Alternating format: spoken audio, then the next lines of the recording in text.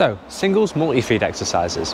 We've always believed in doing multi-feed as part of your regular training, and with the help of UK number one Toby Penty and singles expert Raj Ouseph, we're going to show you five singles multi-feed exercises you can do to improve your game. And on our website, we've just released our singles and doubles multi-feed training plans with 25 programs and over 80 exercises with video demonstrations for each. All of these training plans are designed to improve different aspects of your game, from your on-court fitness and speed to improving your quality and consistency. These multi-feed programs are perfect for both players and coaches to have access to whenever you need them. They're currently at a special price for the Black Friday weekend, and we've tried to make this accessible to everyone. In fact, we're practically giving them away. Link is in the description below if you want to check it out. Now, onto the video. In single shuttle training, if you make a mistake, then you'll get a short rest as the rally will have broken down. However, in multi-feed training, the set will continue even if you make a mistake.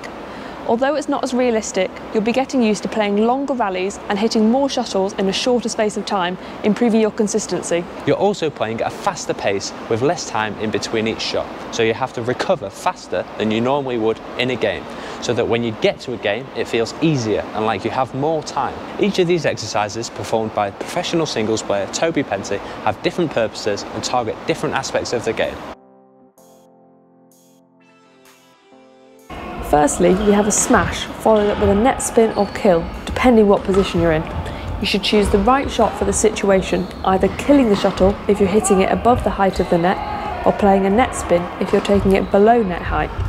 The feeder can lift to either side and also play the shot to the front court on either side. You should focus on having an explosive movement forwards after your smash as you want to apply as much pressure to your opponent as possible.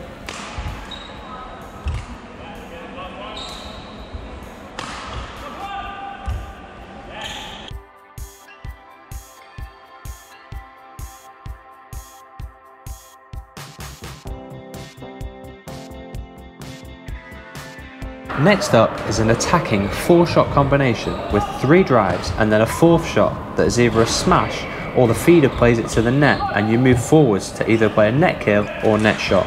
You should focus on having a short, crisp hitting action in your drives while still trying to generate power. It is also imperative to keep adjusting your feet as you can see Toby doing here. You should step into each drive taking it as early as you can. If you're not active with your feet, then you may also struggle to move to the shot behind you or in front of you.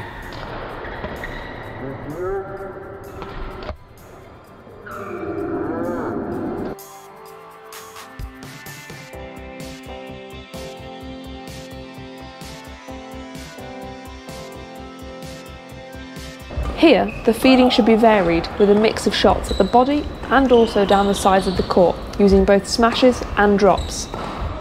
As the worker, you need to keep your legs low and focus on that first push off to the shuttle. Your racket needs to be in a ready position as Toby is demonstrating well. You also need to be ready to get the occasional clear, as you can see here. If you aren't able to feed this with a racket, then you can feed by throwing the shuttles over the net. You just won't be able to feed the clear or the fast smash.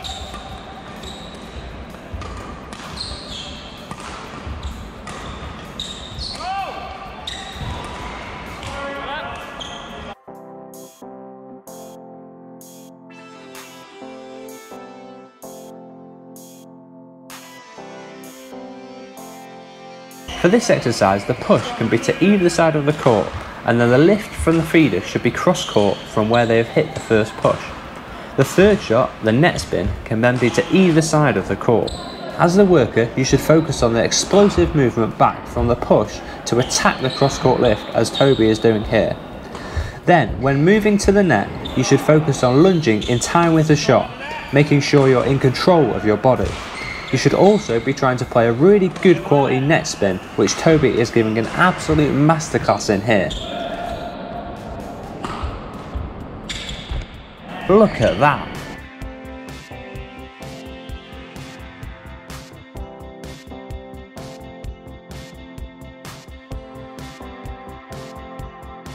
This should be done at maximum speed, which you would not always do during a singles rally. You should try and be early onto every shot, the feeder should play a variety of pushes and quick lifts like you can see. A key point is to make sure you stay relaxed when returning the push shots. making the right choices on whether to be aggressive or play a neutralising shot or net spin.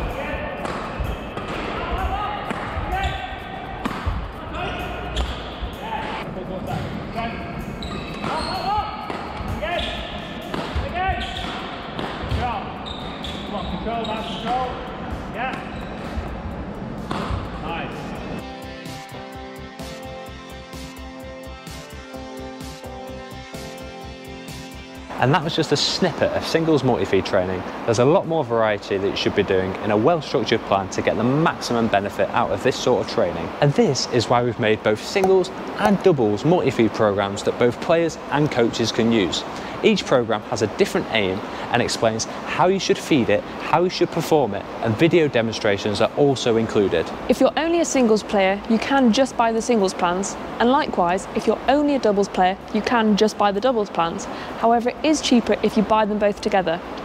These programs are what professional players are doing regularly, and we've designed them so that players of all abilities can use them to improve their game. And this is why we've made it accessible to everyone around the world by being both downloadable onto your phone and also very affordable.